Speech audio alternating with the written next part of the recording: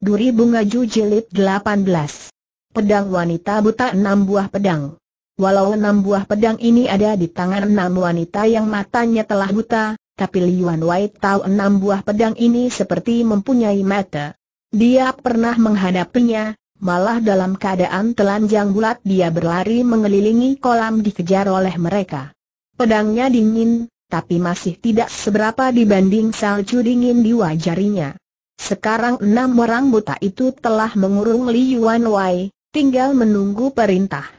Walau orang buta itu wajahnya tidak berekspresi, tapi Li Yuan Wai bisa merasakan enam orang buta ini semuanya seperti ingin membunuh orang. Jika ada satu saja perkataan yang tidak enak terucapkan, tentu akan terjadi. Pada saat ini mau tidak mau Li Yuan Wai harus bertanya, karena jika dia tidak bertanya mungkin dia sudah tidak ada kesempatan untuk bertanya lagi. Xiao. Xiao Suang, di mana, di mana kau pernah melihat aku, di atas tubuhku? Perkataan Liuan Wai tampak gugup sekali sampai satu kalimat pun dia tidak bisa mengucapkan dengan jelas. Saat diranjang, apa kau kira seorang wanita gampang melihat ciri laki-laki yang berada di atas pantatnya? Oh Yang Suang langsung menjawab, malah dalam perkataannya mengandung ejekan. Kau, maukah, melihat sekali lagi kata Li Yuan Wai tampak seperti dicekik lehernya, wajah dan telinga menjadi merah. Perkataan apa ini? Tentu saja Li Yuan Wai sedikit pun tidak mempunyai pikiran tidak sopan pada lawan bicaranya, dia hanya ingin memastikan apakah dirinya betul-betul jahanam itu. Namun perkataan yang pantas, jika diucapkan oleh seorang tolol, biasanya malah sering menjadi perkataan yang tidak pantas. Liwan Wei tidak tolol, tapi justru tidak tahu mengapa dia bisa mengucapkan perkataan ini. Mungkin karena keadaannya mendesak. Maka dia jadi tidak lancar memilih perkataannya. Setiap wanita yang mendengar perkataan tidak pantas ini, tentu saja akan menjadi marah. Li, Li Yuan Wei, kau anggap apa aku ini? Kau kira yang tumbuh di tempat itu bunga teriak Oh Yang Us Huang dengan marah. Li Yuan Wai mengerti lawan bicaranya salah mengerti, Li Yuan Wai sungguh ingin sekali menggigit putus lidah sendiri, dia semakin gagap, juga semakin gelisah katanya, Xiao. Xiao Suang, aku, aku ingin, aku ingin, ingin. Li Yuan Wai, aku beritahu, seumur hidupmu jangan harap bisa mendapatkan diriku. Aku bisa mengizinkan semua laki-laki di dunia jika ingin bermain, justru kau yang tidak boleh, aku, aku bisa begini semuanya karena dirimu, semua karena kau, babi, yang mengakibatkannya, ha, ha. Tahan kau buka mata lihat, lihat bagaimana aku mencincang tubuh binatang ini. Sepasang matanya sudah menjadi semerah darah, dia sudah seperti gila berteriak-teriak.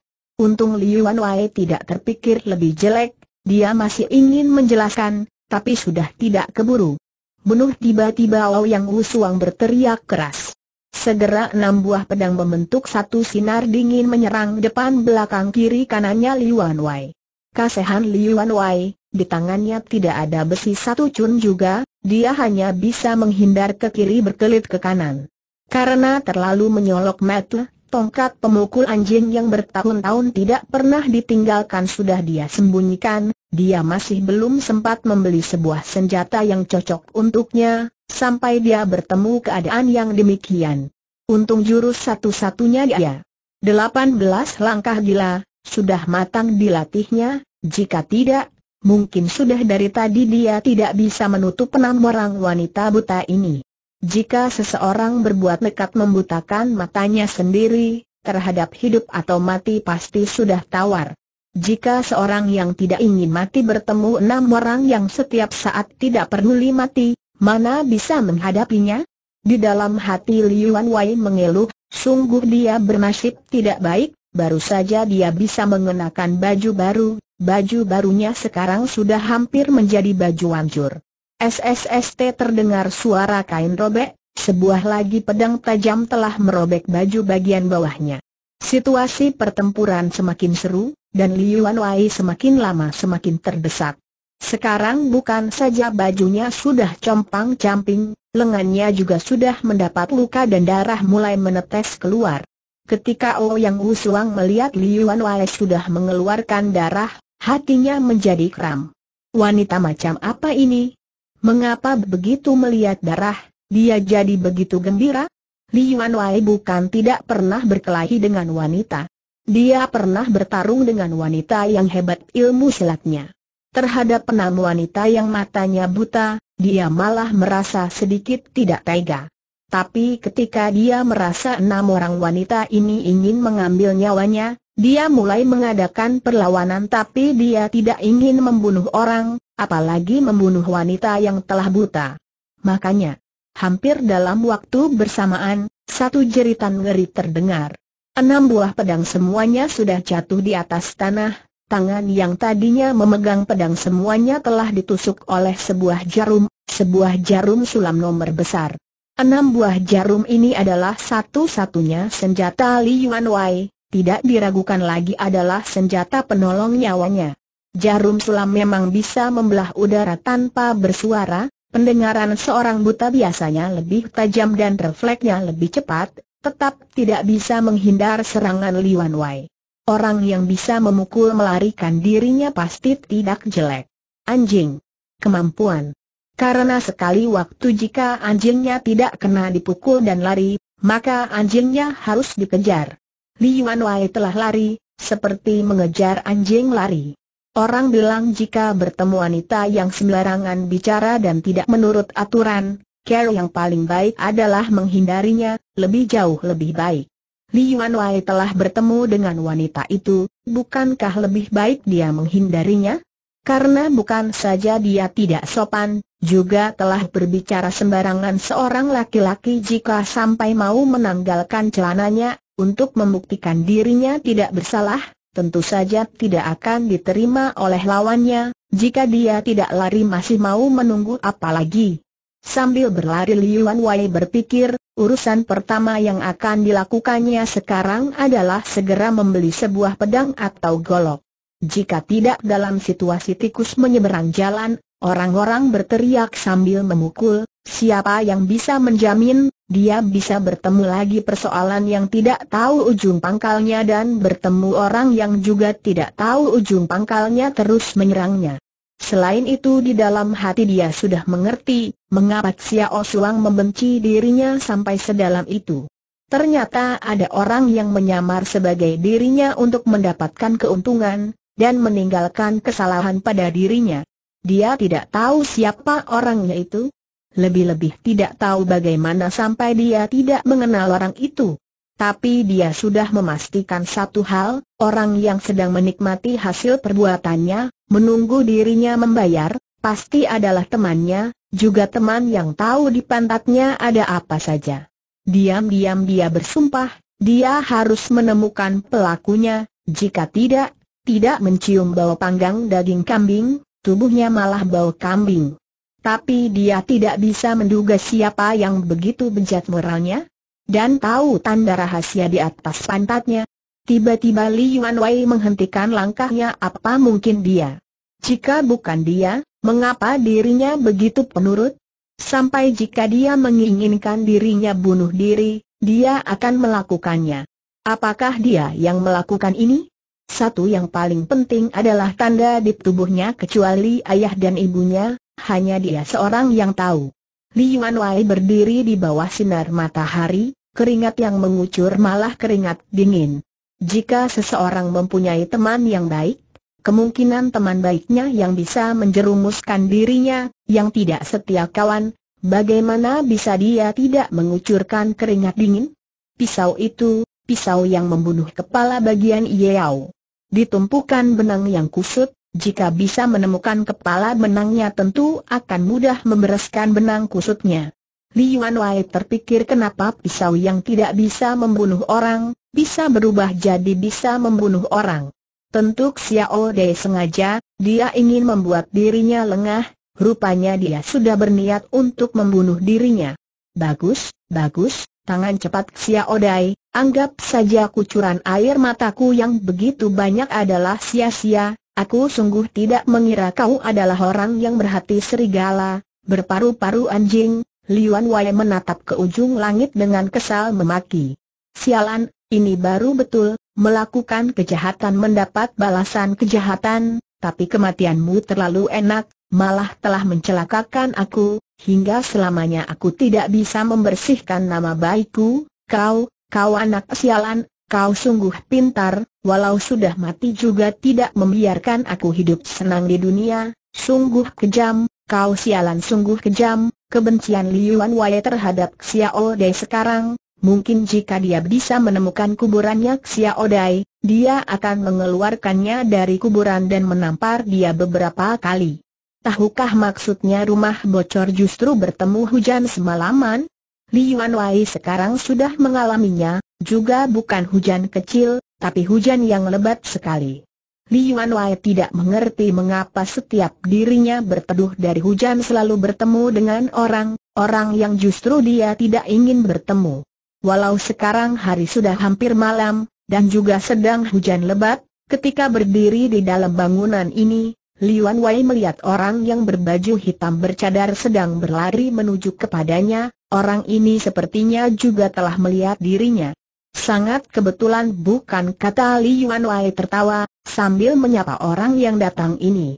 Orang di mana saja bisa bertemu, hartawan Li, Kelihatannya persoalan kita siapa pun tidak bisa menghindar, kata orang bercadar dengan tawar sambil masuk ke dalam bangunan.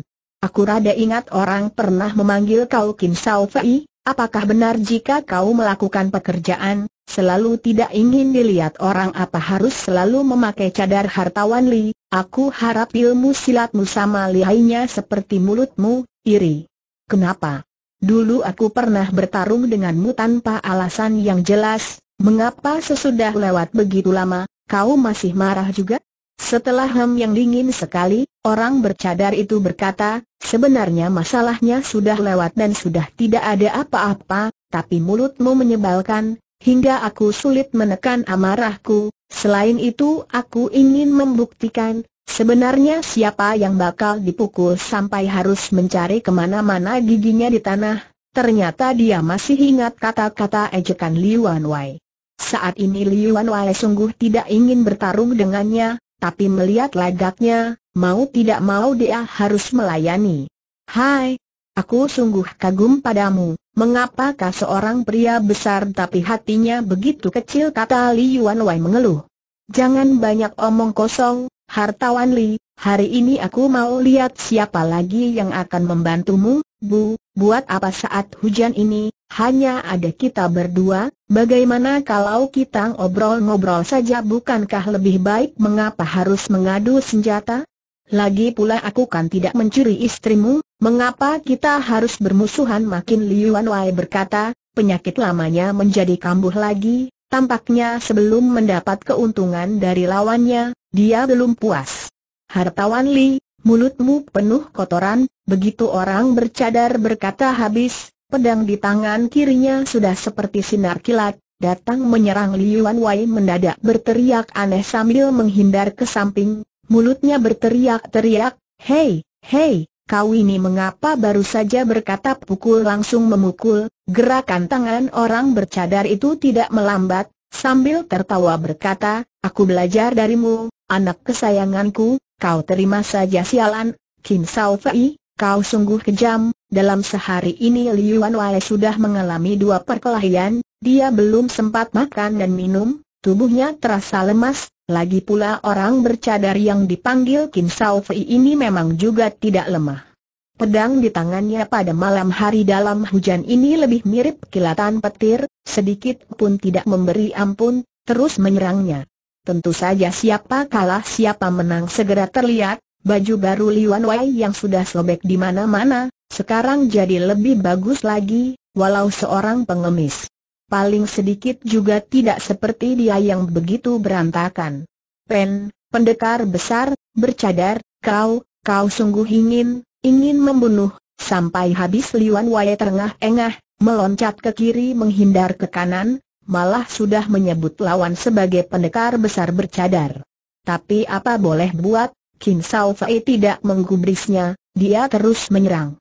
Tunggu, tunggu, Kim Sao Fei, walau ingin berkelahi juga harus jelas dulu, Sialan, begini tidak jelas, kayak apa ini, teriak Liuan Wei yang terdesak sampai jadi gelisah, dia bersalto ke belakang, tidak memperdulikan sedang hujan lebat, dia menghindar keluar bangunan Kim Sao Fei tampak tidak mau basah, jadi dia tidak keluar mengejarnya, menggunakan pedang menunjuk pada Li Wei dia berkata, Hem kukira kau setengah pengemis ini punya kehebatan apa, ternyata juga hanya begini saja, kelihatannya berita di dunia persilatan terlalu membesar-besarkan dirimu, katakan. Hartawan Li, jika kau ingin kentut cepat keluarkan, Keadaan Liuan Wei dari kepala sampai kaki sudah basah kuyup. Dia seperti ayam di dalam kuah, berdiri di dalam hujan, katanya, aku pikir aku pernah bertemu denganmu, perkataannya seperti tidak ada artinya, Liuan Wei tentu saja pernah melihat lawannya. Tapi perkataannya membuat orang bercadar terkejut. Orang sengaja menutup wajahnya tentu tidak berani bertemu orang secara terbuka, kecuali wajahnya buruk, Alasan yang lain adalah takut orang mengenal dirinya. Orang bercadar itu mengerti maksud Liuan Wei, makanya dia sedikit terkejut.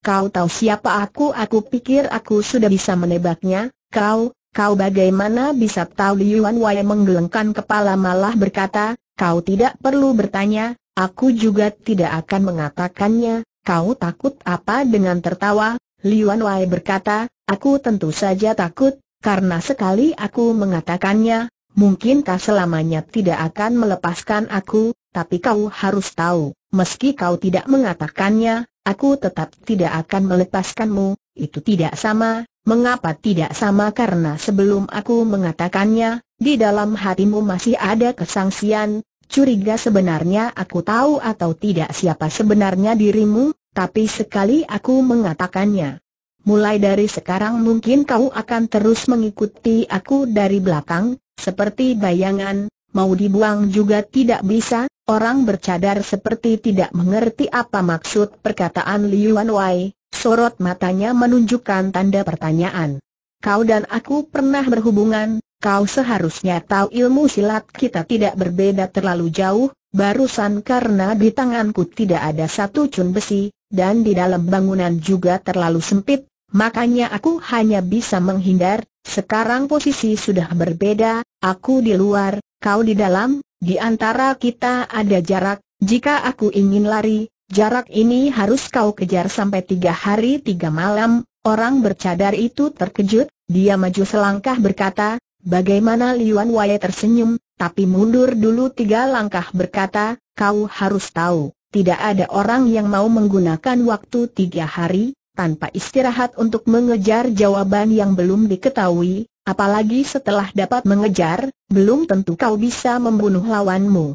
Ini adalah alasan mengapa aku tidak mengatakannya, jika aku telah mengatakannya, dan beruntung tepat, jangan kata tiga hari, tiga tahun pun kau pasti akan terus mengejar untuk mendapatkan aku, jadi bukankah aku mencari kesulitan sendiri orang bercadar itu maju lagi selangkah, Liuan Wei yang sangat nakal, hei, hei, kau jangan maju lagi mengapa? Apakah kau benar-benar ingin kehujanan? Baju sutra hitammu tidak sebanding dengan baju sobeku ini, mulutnya berkata, Liuan Wei mundur lagi tiga langkah. Maksud Liuan Wei sudah sangat jelas, dia sudah bersiap-siap melarikan diri. Orang bercadar tentu saja tahu apa yang dikatakan Liuan Wei adalah kenyataan. Aku tidak percaya kau tahu aku siapa, mengapa tidak taruhan saja melihat jarak antara dirinya dengan Liuan Wei semakin lama semakin jauh, orang bercadar dengan kesal berkata, Hartawan Li, apakah kau begitu tidak tahu malu? Bisanya hanya melarikan diri melarikan diri. Lucu, kakak bercadar, ini namanya bisa melihat keadaan, hebat bukan? Baik, kau berikan pedang di tangan itu padaku, kita bertarung sekali lagi, jika kau tidak melarikan diri, aku akan bersujud memanggilmu kakek, sungguh tingkah Li Yuan Wei yang seperti preman ini membuat marahnya seperti ban yang akan meletus. Tapi perkataannya juga bukan tidak masuk akal, sehingga membuat orang bercadar itu bengong di sana, beberapa saat, justru tidak terpikirkan harus mengatakan apa, kenapa? Apa perkataanku tepat mengenai hatimu, betul tidak? Jika kau tidak ingin bertarung ulang, maka aku seperti bertemu Raja Gunung, tidak bisa berbuat apa-apa, siapa suruh aku miskin? Lebih baik, aku pergi saja, bangunan rusak ini aku serahkan saja padamu orang bercadar itu tidak sudi menerima celaan ini, tapi dia hanya bisa melihat bayangan Liuan Wei yang semakin lama semakin menghilang di dalam hujan ini. Dia tentu saja mengerti walau dia sekarang mengejarnya, mungkin harus lima hari, malah mungkin sepuluh hari baru dapat mengejar preman yang di kakinya tumbuh bulu ini. Dia tidak ada waktu untuk itu, apalagi dia pikir Liuan Wei belum tentu tahu siapa dirinya. Di dalam hujan Liuan Wei berjalan dengan cepat. Dia terpaksa buru-buru menghindar dewa penyakit menular ini, karena dia sangat takut orang bercadar tanpa memperdulikan apa-apa langsung mengejarnya.